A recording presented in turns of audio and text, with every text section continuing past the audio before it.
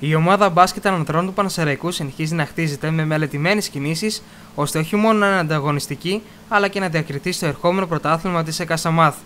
Προφανώς η επιτυχία ενός τέτοιου εγχειρήματος απαιτεί γερές βάσεις και για το λόγο αυτό δεν θα μπορούσαν να λείπουν από την ομάδα δύο έμπειροι αθλητές που τα προηγούμενα χρόνια έχουν προσφάρει τα μέγιστα ήδη σε αυτήν.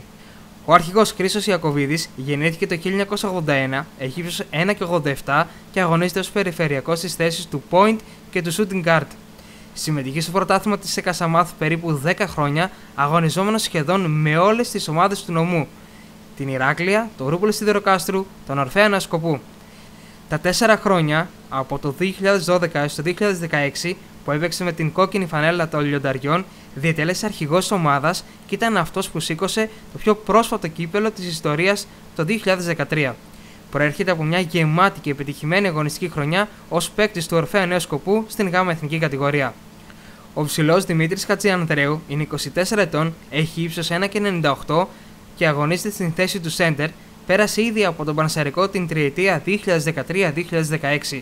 Νωρίτερα, από το 2011 μέχρι το 2013 έπαιξε με τους Ίκαρους στην Α2 εθνική κατηγορία, ενώ πέρυσι αγωνίστηκε και αυτός με την ομάδα του Ορφέα Νέου Σκοπού στην ΓΑΜΑ Εθνική. Οι δύο ικανοί και έμπειροι αθλητές που επιστρέφουν στην ομάδα του Πανσαρικού έχουν αγωνιστεί επί χρόνια μαζί, ενώ πέρυσι έπαιξαν και σε υψηλότερη κατηγορία υπό την καθοδήγηση του προπονητή Φώτη Κοκολιού.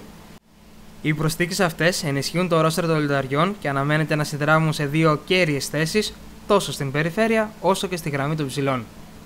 Ο αθλητικός όμιλος καλαθοσφαίρισης η Καρισερών καλωσορίζει ξανά στην οικογένεια των Κιανοκίτρινων τον καλαθοσφαιριστή Θόδωρο Δαλαγκόζη.